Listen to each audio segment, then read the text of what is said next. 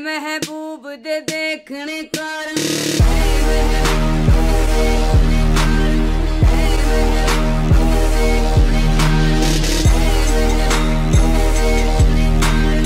What's up, my fellow Call of Duty Elite Game and Stub Muffin athletes? Welcome back to another video of me. Yes, me. I'm the Ghost of Eight. Piece of crap game because season four dropped and they tried to mix it up with The Boys, which is an amazing TV show. I love that as well. Homelander is my favorite because I'm also a white supremacist Trump supporter. What do I talk about? I don't know. Let's stick to the Call of Duty. Shut your mouth there, you idiot ghost. We, we want to hear the Call of Duties. Hear the Call of Duties. But season four dropped with The Boys crossover and it doesn't work and it's stupid. Big surprise. Anything to do with Call of Duty nowadays is nothing but a, just a big steaming pile of shit. And here's the issues with it. First of all, if you're playing on PC, which, you know, honestly, let's just keep this real as well. PC destroyed Call of Duty because when they put the crossplay together, before that, there wasn't that many cheaters. You had the Cronuses and a little bit of this and that, but not a whole lot. As soon as they implemented the PC crossover, it's turned into just a pointless point of view. Why would you even bother playing the video game? It's not even worth your time. I haven't played Call of Duty for about a couple months, full honest disclosure. But Cold War came out for free on PlayStation Plus, and I thought, hey, there might be a new influx of noobs out there. Maybe I'll go and play some Cold War and see how it goes.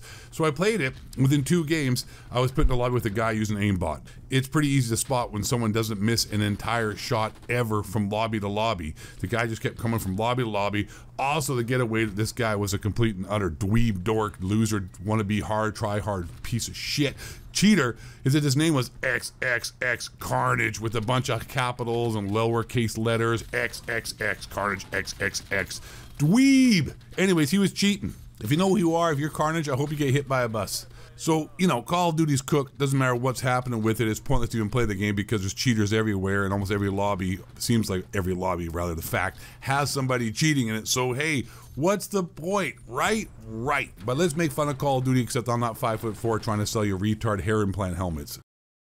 Season 4, even with the COD shields are out here complaining about it. The PC version is unplayable, is where we started off on that PC rant there and crossplay ruin Call of Duty with all the cheaters. So yeah, the PC version is almost unplayable with the frame skips, and also you've dropped down about 60% of your frames.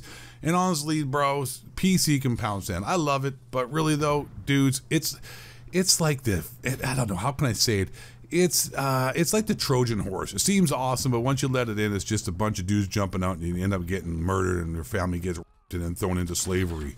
What else is the problem? Well, hey, listen, they can't have a bunch of different things in the game that we asked for because their quote was, it's not realistic. Like, no, you can't cancel a reload or shoot while sliding, as they say, because that's not realistic. But hey, these new things they put in the game, you literally get laser beams flying out your eye.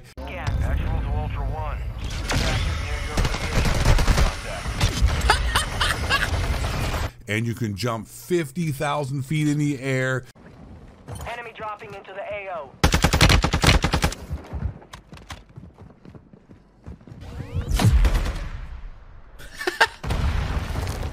And turn into an EMP, and it's just ridiculous. It's stupid. It seems like it's fun. Like honestly, that seems kind of fun, goofy, right? Not really when you're trying to play competitive shooter, and some guy is turned into a Fortnite game and just jumping around and shooting lasers at you while you have a little MP7 like and you're trying to drop the guy. So yeah, that's cool. Really cool. Call of Duty developments or developers are amazing at their job. Also, there's problems with you know self revives dropping all over the place instead of ammunition boxes, blah blah blah, etc. etc. Man, I can't wait for Modern Warfare 3 to drop. It's going to be the best game ever and save the franchise.